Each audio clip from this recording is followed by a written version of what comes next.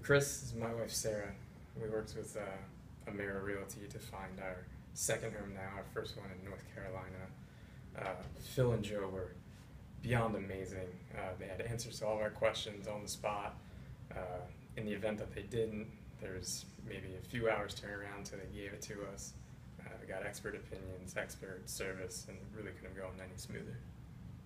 Yes.